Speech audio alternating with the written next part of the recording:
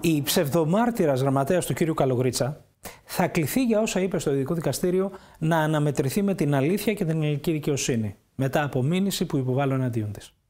Η υποβολής όμως της συγκεκριμένης ψευδομαρτυρίας που επιλέγουν για άλλη μια φορά το δρόμο της λάσπης εναντίον του ΣΥΡΙΖΑ, μόνο τον πανικό τους προδίδουν.